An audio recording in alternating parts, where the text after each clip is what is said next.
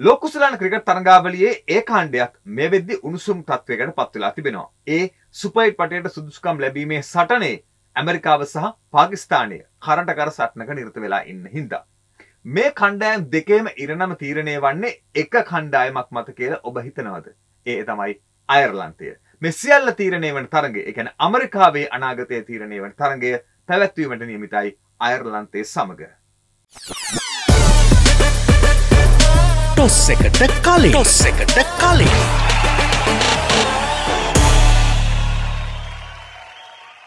වීව එකතුුණු උකුතේ එකක රස උපරිමයි. අයර්ලන්තේ සහ සත්කාරක අමරිකාවතර මෙම තරගේ පැත්වන්නේ ශ්‍රී ලංකාවේලාවෙන් අදරාත්‍රී අටට. අමරිකාවේ ෆ්ලොරිඩා හි තමයි මේ තරගේ පැත්වීමට නියමිතව තිබෙන්නේ.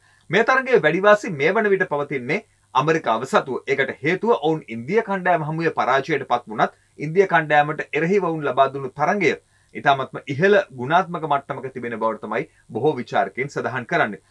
අමරිකානු කණ්ඩායම පකිස්ානට රෙහිව තරගේ ජයග්‍රහණය කරලා එවගේ ඔවුන් සහභාගවිච්ච පළමු තරගේ කැනඩා කණ්ඩෑමත් පරාජයට පත් කිරීමත් සමඟ අමරිකානු කණ්ඩෑමට වැඩ ඉඩක් වෙංවෙලා තිබුණ සුපයිට් වටයට යන්න. නමුත් ඉන්දිය කණ්ඩෑම හමුවේ ඔවුන් පරාජයට පත්වීමත් සමඟ දැන් පකිස්ානයත් එක්ක යම් තරගයකට ඔවුන්ට මුහුණ දීමට සිදුවලා තිබෙනවා. ඉන්දිය කණ්ඩෑම් සහ අමරිකාව අතර සිදුවෙච්ච තරගයේදී එක් සුවිශේෂී සිද්ධියක් සිද්ධ වුණා. ඒ සිද්ධිය තමයි අමරිකාවට ඉතිහාසයේ පළවෙනි වතාවට ස්ටොප් ක්ලොක් නීතියට හසු වෙන්නට සිද්ධ වුණා. මේ ස්ටොප් ක්ලොක් නීතිය කියන්නේ මොකක්ද? මේ අලුත් වෙලාව සම්බන්ධයෙන් ගණනය කරන නීතිය මොකක්ද? මේ නීතිය තමයි මේ නීතිය එන්නේ පහුගිය දෙසැම්බර් මාසේ. ඒක මේ ලෝකෝසලාන් ක්‍රිකට් තරඟාවලියටත් අදාළ වෙනවා.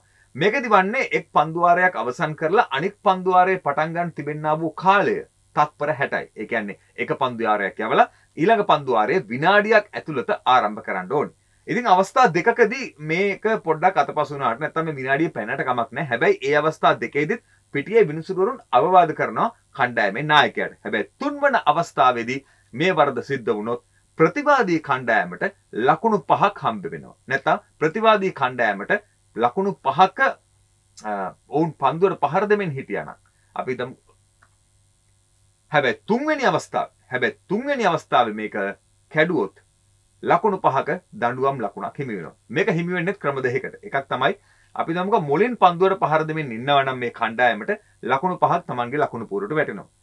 හැබැ ලකුණු සංඛ්‍යාවක් හඹාගෙන යමින් සිරිනවා නං ඔවුන්ගේ හම්බාගෙනයන ලකුණු ඉලක්කයෙන් ලකුණු පහක් අඩුවෙනවා ඉන්දියාවට උනේ ඒක. ඉන්දයානු කණ්ඩායම් පන්දුවර දාසයක් වෙද්දී පන්දු තිහකට ලකුණු තිස් පහක් ලබාගත යුතු තිබුණ තරගේ ජයග්‍රහණය කරන්න. හැබැයි ඒ වෙද්දිත් අමරිකාව අවස්ථා දෙකකදී මේ ක්ලොක් නීතිය කඩලා තිබුණ. එය අනුව පිටිය විනිසුරුන් තීරණය කළා දඩුවම් ලකුණු පහ ඉන්දියාවට දෙන්න. එය අනුව ඉන්දිය කණ්ඩෑමට ඉලක්කේ තවත් පහසු වුණා. අන්තිම පන්දු තිහට ලකුණු තිහක් දක්වා ඉලක්කේ අඩුනා. ඉතින් මේ නීතියට ලක් වෙලා දඩුවම් ලැබූ ලොබ පළමු රට බවට පත් වනේ අමරිකාව. ඇති මෙසියල් අමත කරලා අමරිකාවට තියෙන එකම එක තුරුම්පුුවයි දැන් ඒ අයර්ලන්තේ සමග අද පැත්තෙන් තරගේ ජයග්‍රහණය කිරීම මේ තරගය අයර්ලන්ත කණ්ඩෑමෙන් පරාජය වුණොත් මේ තරගේ ඇමරිකාව ජයග්‍රහණය කළොත් ඒ කාණ්ඩයෙන් පකිස්ානය සිහින බොදු වෙලා යනවා අමරිකාවට හැකියාවක් ලැබෙනවා ඉන්දියාව සමඟ සුපයිට් වටේට යන්න. ටොස් එකට කලින් ටොස් එකට කලින්.